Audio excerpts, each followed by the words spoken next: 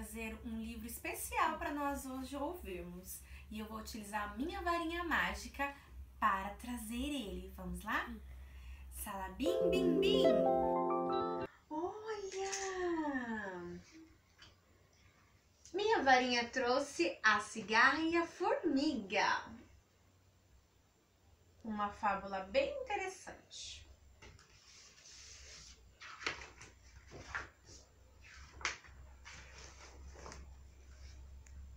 Glória era uma formiga muito esforçada que trabalhava durante todo o verão para juntar alimentos e se preparar para o inverno. Enquanto isso, a cigarra Julieta só queria saber de cantar e dançar. A vida é bela, eu sou bela, o verão é belo, tudo é belo, cantarolava a cigarra sem parar.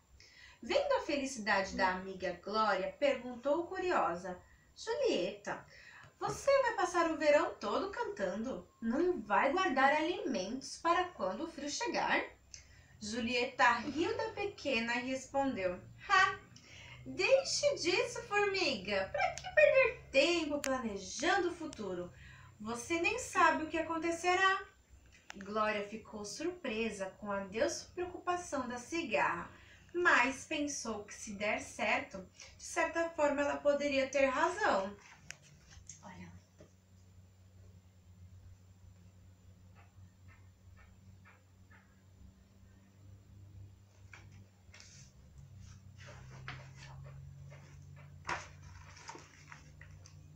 Acontece, amiga cigarra, que daqui a pouco o inverno vai chegar e nós não podemos sair no frio para colher alimentos. Por isso, precisamos aproveitar os dias de sol para fazer isso. Julieta parou e pensou, mas não se convenceu. Quando o inverno chegar, eu vou dar um jeito. Glória, agora só quero saber de divertir-me. A formiga desistiu de convencer a amiga e continuou seu trabalho. Quando a noite caiu, Glória foi para casa descansar e antes de dormir chamou sua mãe e perguntou meio sem jeito: Mamãe, nós temos mesmo que trabalhar o verão inteiro? Não podemos ter apenas um dia de descanso?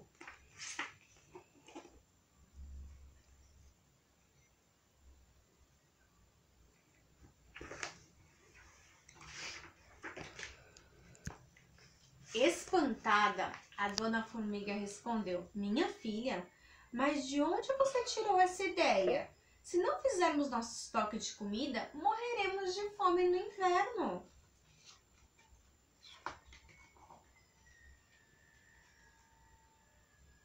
Envergonhada, Glória explicou: Eu sei, mamãe, mas a cigarra Julieta passa o verão, o verão todo cantando e se divertindo, sem se preocupar com seu estoque de comida. Por que não podemos fazer o mesmo?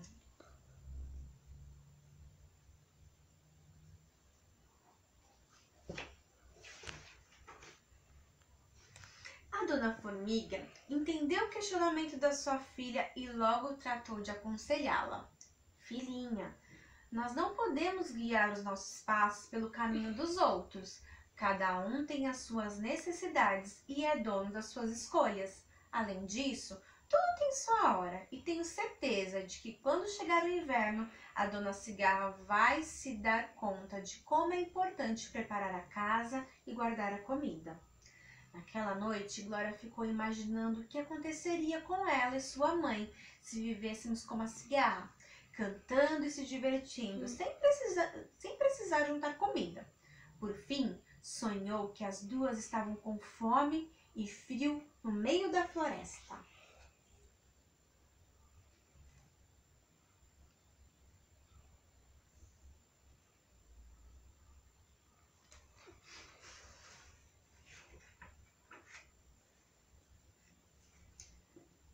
Manhã seguinte, Glória se levantou, tomou o café da manhã e partiu para sua tarefa diária, com muita disposição. Enquanto ela pegava algumas sementes, Julieta surgiu cantarolando. Formiguinha esforçada, só trabalha e não se diverte em nada. Glória ficou muito irritada com aquela provocação. Então virou-se para a cigarra e falou: Um dia você vai perceber que ter uma cama quentinha e uma comida no inverno é melhor do que apenas brincar no verão.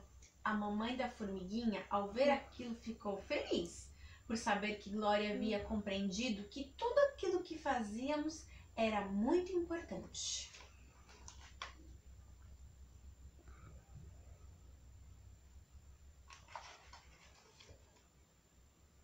As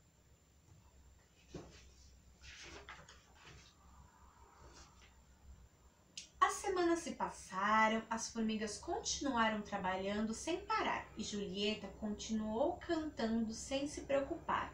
Não demorou muito para os dias começarem a ficar frios e o sol dar, a, dar lugar aos flocos de neves, anunciando a chegada do inverno.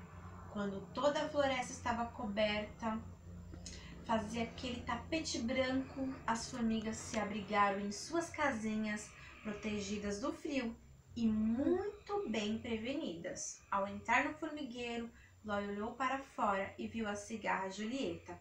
Ela já não cantava alegremente, ao contrário, parecia estar preocupada.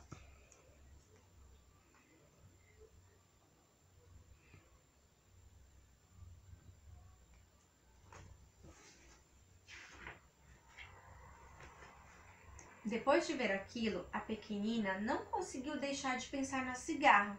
O que será que vai acontecer com Julieta? Como ela vai se proteger do frio? Será que tem que comer ou o que comer?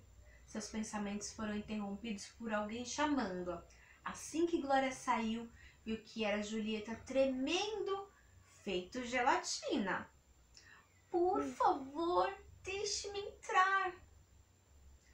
Você não preparou nem mesmo um lugar quente para se proteger no frio? Não, durante todo o inverno eu só cantei, dancei, respondeu a cigarra envergonhada.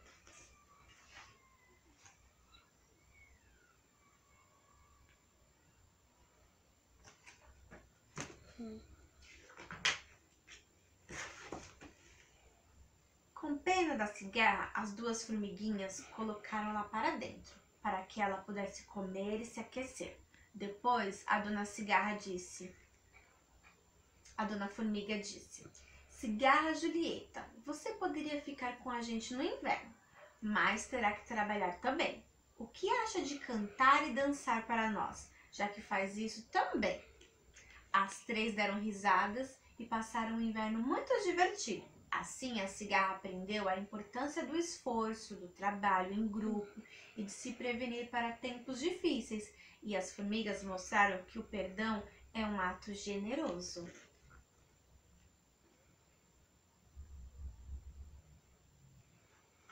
Gostaram da história? Você viu? Tudo tem sua hora. A gente pode brincar? Claro que pode brincar, mas tem a hora também de fazer as coisas, fazer a lição, estar com a professora, respeitar o papai e a mamãe. Tudo tem um tempo, não é verdade? Um beijo, espero que tenham gostado. Eu adorei aprender com a cigarra e com as formigas.